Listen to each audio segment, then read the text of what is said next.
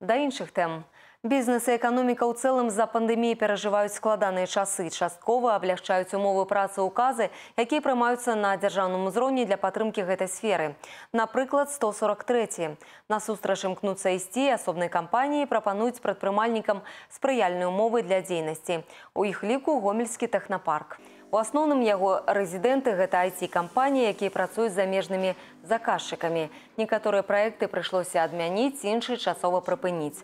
Зараз самае важнае утрымаць работнікаў і плаціць ім зарплату. Няпросты перыяд, але разам з тым многія прадпрымальнікі не ведаюць аб магчымасцях скараціць падатковую нагрузку, арэндныя плацяжы і іншыя выдаткі. Напрыклад, дадатковыя прэферэнцыі прадстаўляюць бізнесменам у якасці рэзідэнтаў тэхнапарку. Технопарке как раз таки разработан ну, целый пакет мер, направленный на поддержку именно начинающих э, компаний, бизнесменов, стартаперов.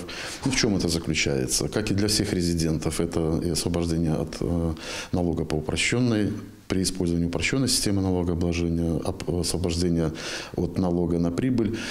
Кроме того, э, мы приняли решение о снижении арендной ставки Вот для таких молодых компаний, срок э, регистрации э, которых ну, с- до трех лет, э, э, па- практически до 40% по сравнению с обычными арендодателями. Летась аб'ём экспарту паслуг рэзідэнтаў тэхнапарку склаў каля 4,5 мільёнаў долараў.